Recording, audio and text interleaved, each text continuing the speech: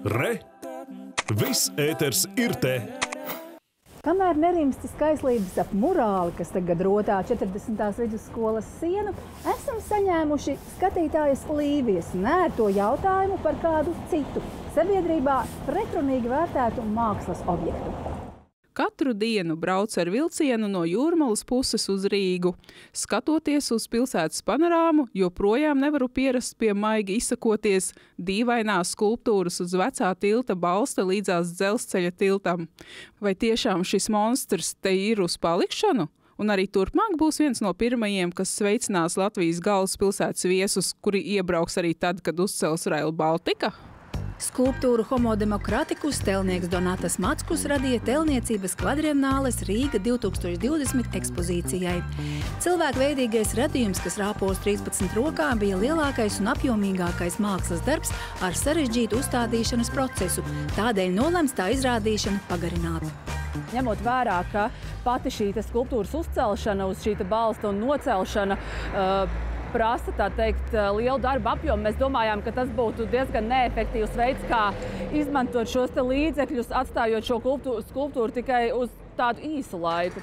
Tomēr raidījuma 4. studija video ir viens no pēdējiem, kur Daugavas ūdeņos var redzēt daudzrokaino radījumu, kam laikapstākļi vienu no rokām jau ir papostījuši. Pavisam drīz tas dosies atpakaļ uz sava mākslinieka darbnīcu. Kultūrai būtībā ir tikai viens ceļš, kā tā var uh, atbraukt no pārdaugavas un aizbraukt atpakaļ. Uh, mēs uh, sas, saskaņošana notiek vairākās instancēs. Tā notiek gan uh, teiksim, par uzstādīšanu gan ar Latvijas dzelzceļu, gan Rīgas būvvaldē, gan uh, ar institūcijām, kas atbild par jūras ceļiem, uh, Rīgas dārziem un parkiem.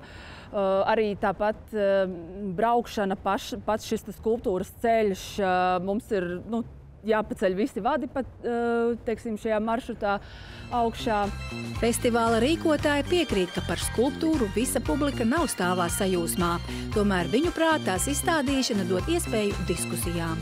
Jā, mēs redzējām arī negatīvus komentārus, taču tajā pat laikā mums ir vesela vācelīte ar cilvēku pozitīviem komentāriem, kam šķita, ka beidzot šī vieta, kas bija tāda vientuļa šajā krastmalā, tika izmantota kā, kā kā, nu, kā galerija, kā, kā iespēja parādīt mākslas darbu. Pirms vairākiem gadiem raidījumā stāstījām par gigantisko skulptūru kosmonautu Semu, kas Kronvalda parkā tika uzstādīta jau minētajā telniecības formā 2016. gadā.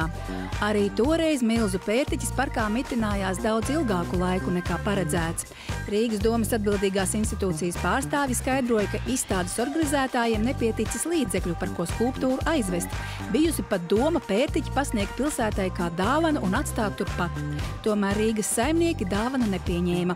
Kādu laiku kosmonauts Sems sagaidīja viesus atrakciju parkā avārijas brigāde, bet tagad ir radis citu māju vietu. Tā atrodas jaunajā teikā, un to ir veidojis krievu mākslinieks Denis Prasolovs. Tas ir kosmonauts Sems, kā mēs to esam iesaukuši, un tas ir veltīts dzīvniekiem, kas uh, ir palīdzējuši mums cilvēcei veikt kosmosa izpēti. Šobrīd viņš ir jaunajā teikā, viņš tur ir atradis mājas, un uh, mēs ceram arī, ka viņš tur paliks vēl kādu laiku. Vai Homo Demokratikus atradīs jaunu māju vietu ārpus sava radītāja darbnīcas, šobrīd vēl nav zināms. Jana Vītoliņa, Andris Rubīns, 4. studija.